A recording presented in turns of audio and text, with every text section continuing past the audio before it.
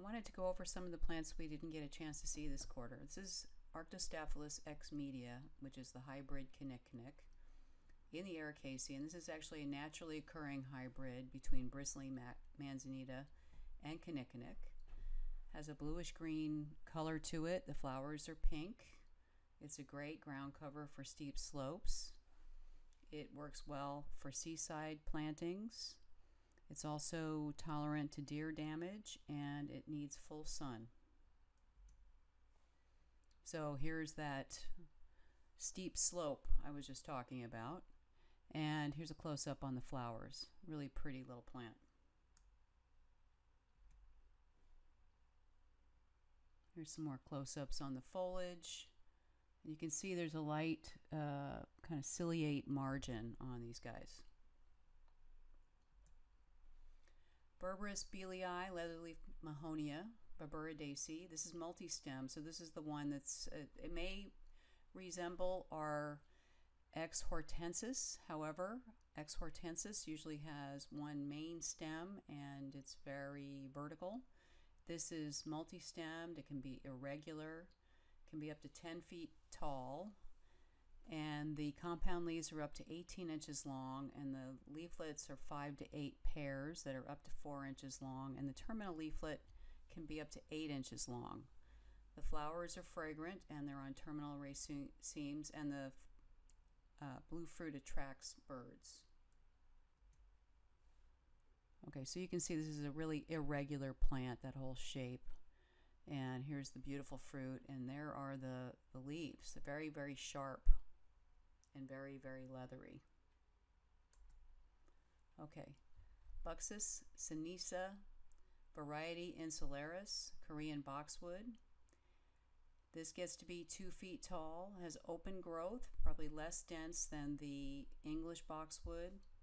The branches are slightly pubescent to the touch. You can almost see that on the bottom picture. The leaves are opposite, of course, ovate to oblong, so longer and narrower than Buxus sempervirens. One third to three quarters inches long. The margins are rolled and it will turn brown in winter. And on the left, you can see this is what it looks like in the summer, but it, this is what it looks like in the winter. It almost looks dead to me, but um, anyway, that's just the winter color. Camellia X Williamsii and cultivars in the TAC. This is a cross between Camellia saluenensis and Camellia japonica. Has a very long blooming period, four to five months and one of the parents has elliptical pointed leaves and as we know Camellia japonica has rounded leaves. Some cultivars are more hardy than others and roughly speaking because there's a lot of different cultivars uh, 8 to 15 feet tall with a spread to 8 to 12 feet and this particular cultivar is donation. Okay, on the right here, that's also donation, but it kind of gives you a an idea of the growth. It's definitely tighter than the uh, Sasanqua and probably not quite as tight as Camellia japonica. And you can see the leaves here are a little bit narrower than the Camellia japonica. And this is St. U. Okay, Cotoneaster salicifolius. This is the straight Cotoneaster salicifolius, the willow leaf Cotoneaster. And I wanted you to see this because we, unfortunately, we only have the ground cover on campus. This gets to be six to eight feet tall, spreading, arching, horizontal. You can see that growth on the left there. And here are the leaves, indented veins, so it looks like it's got kind of a wrinkled appearance. And here are these little rose-like flowers. Remember, it's in the Rosaceae. And there it is with the fruit. Daphne cneorum, rock rose or garland daphne. Our list says garland daphne. Uh, rock daphne is the one I know it by. Thymelaeaceae, one to three feet across in a very loose mat or ground cover Uh, the growth is very reminiscent of Iberis sempervirens. The leaves are alternate, simple, uh, about two and a half centimeters long, very narrow. The flowers are bright pink, about half inches across, and there, there are six to eight flowers per umbel. Very fragrant and part shade and excellent drainage. And when I've used this, this is really a great rockery garden plant. Um, it's really needs excellent drainage. So here's a close up on the flowers. And Daphne you're going to have these four petaled flowers. And then on the right, you can see it's got kind of this silvery green foliage. And those are the buds. Fargesia robusta, clumping bamboo, poaceae, shiny dark leaves, and so it's a clumping bamboo, so it's not going to run like Phyllostachys. The cane sheaths are white colored. It gets to be 15 tall, feet tall by 15 feet wide. Needs full sun to part shade.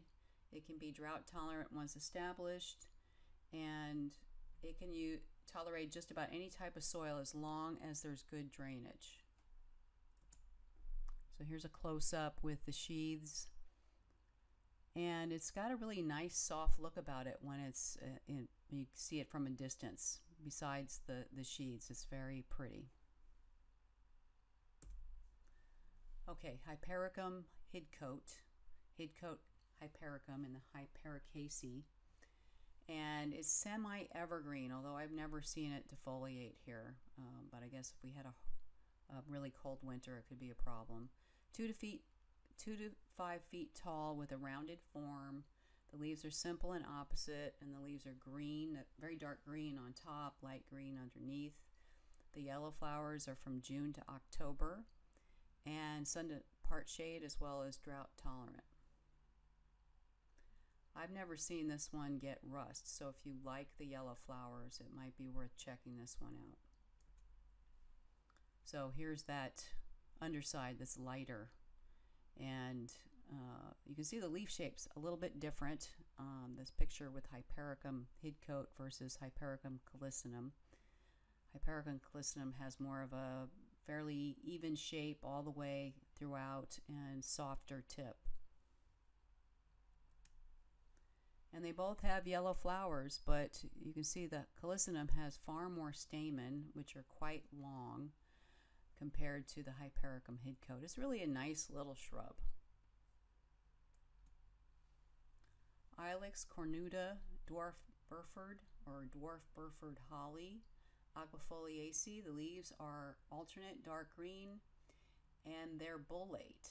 And bullate means it's a rounded blistery projection on the surface and you can kind of see that. It looks like you know, it's almost bubbled a little bit the leaves are oblong, and then they're actually the sides of these leaves are parallel to each other. There's a spine at the very tip.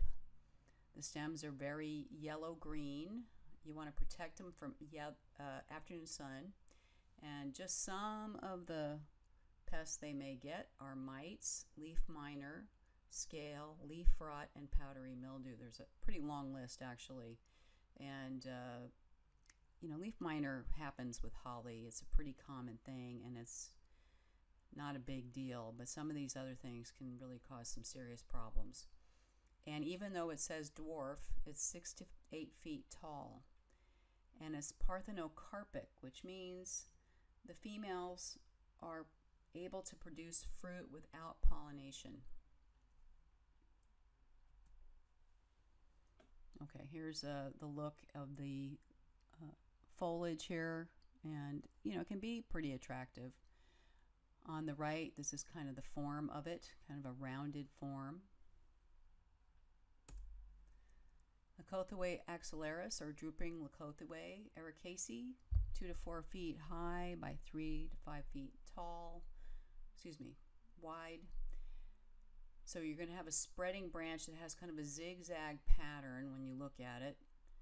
The margins can be either entire or serrate. You can see in this picture they look like they're serrate. Very dark green above, paler green below, and then you have these urn-shaped flower clusters in the ax axils, so hence the name Axillaris. The foliage can turn purple or red in the winter, and it prefers part shade, and it's extremely poisonous.